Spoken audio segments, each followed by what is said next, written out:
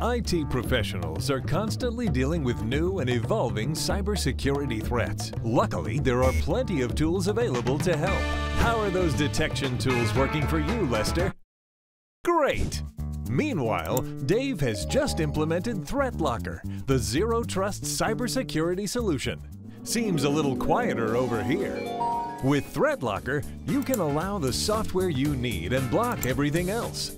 This proactive approach keeps IT professionals and their clients secure, while the combined solutions work together to provide the most effective defense possible against cyber threats. Let's put it to the test. Looks like Carol in accounting just fell for a phishing email. That can't be good.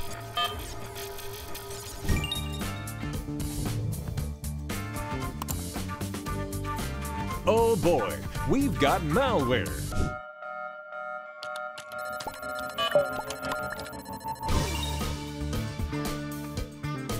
Who wants ransomware?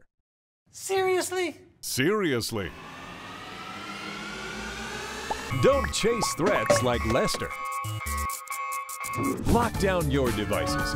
Get protection that goes beyond detection.